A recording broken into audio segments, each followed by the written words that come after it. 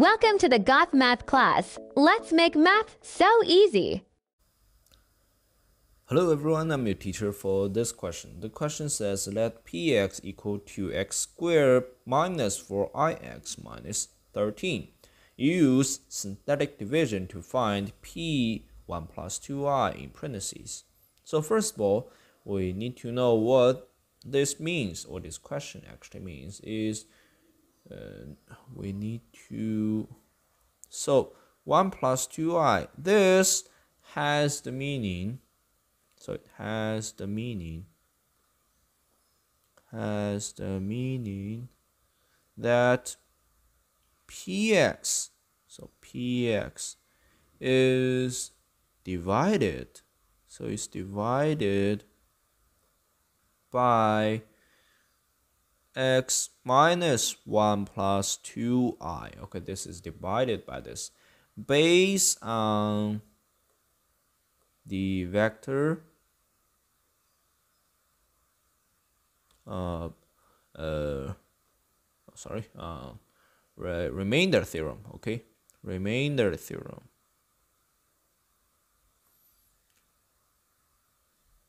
Okay, so we're asked to, so we use the synthetic division to find the quotient. In the end, we use this to find quotient. Quotient and remainder okay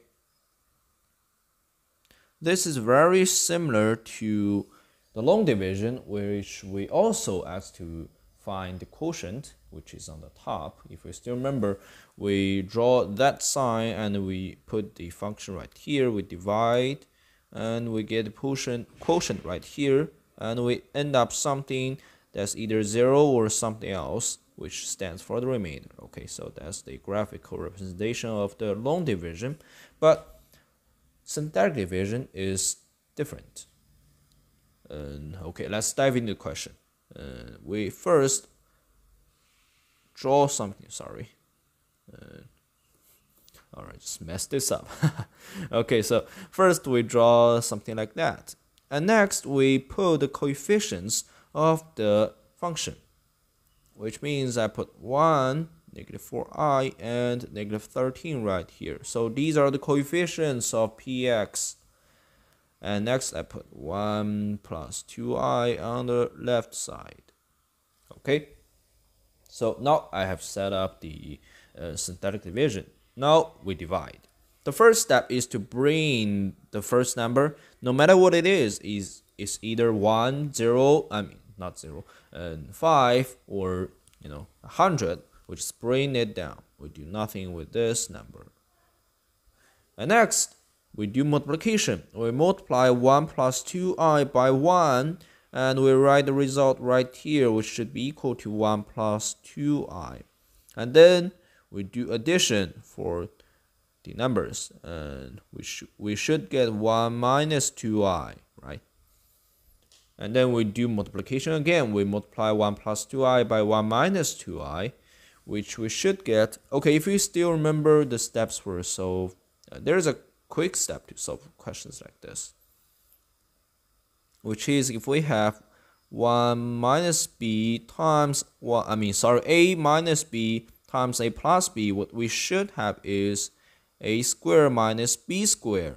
This theorem also applies here. So if we have 1 plus 2i, sorry, times 1 minus 2i, this ends up with a is equal to 1. 1 squared, so 1 minus 2i squared, which is equal to 1 minus 4i squared.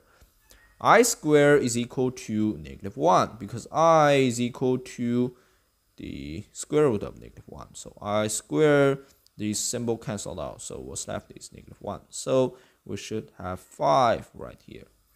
Because 1 and the negative sign cancels out. So we put 5 here. Uh, negative 13 plus 5 is equal to negative 8. Okay, so we know that always remember the last number right here is the remainder. If it's 0, it means we have no remainder. If it's anything else, that means That's the remainder. Okay, so this is the coefficients of the quotient, and this is the remainder. Now we can put everything up. Okay, let me write below here, underneath everything. And what we should have is x minus 1 plus 2i times x plus 1 minus 2i. And this minus 8 is equal to px. Okay, so you can try to calculate and try to confirm the answer. Okay, so from the question we know that negative 8 is remainder, and this right here is the quotient that we found based on the synthetic division. What we can take away from this question is how to use synthetic division to find the quotient and the remainder. Okay, so even if we have complex numbers that involves i calculations, if we care for the uh, negative and uh, positive signs, we're able to find the correct quotient and remainder. Okay, so that's something to care about or to care for. And that's all for this question. See you in the next video.